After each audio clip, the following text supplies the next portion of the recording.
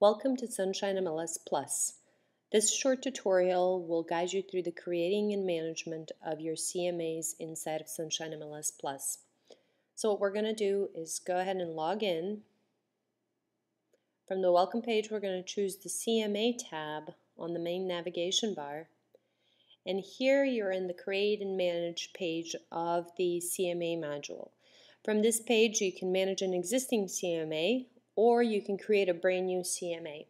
So to choose an existing CMA and perhaps copy it or work on it, you would simply take a look at your list of existing CMAs, choose the one that you'd like to work with, pick it from the list, and either click delete, click copy, which will copy the features of that CMA into a brand new CMA, or you can click load, which will load that particular CMA and let you work on it.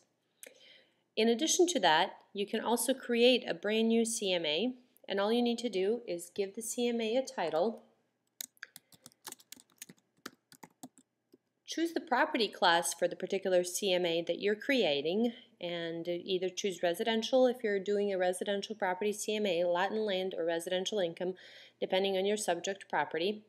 If you're creating the CMA for one of your contacts, you can attach the CMA to your contact, so you would do that by simply typing the contact's name into the box that says prepared for contacts and choosing your contact and this CMA we're creating for John Smith who is in our contacts list and at this point if you're ready to start with the CMA and select your subject property you would click create new and what this will do is it will create a new CMA attached to your contact John Smith and it will take you to creating a subject property.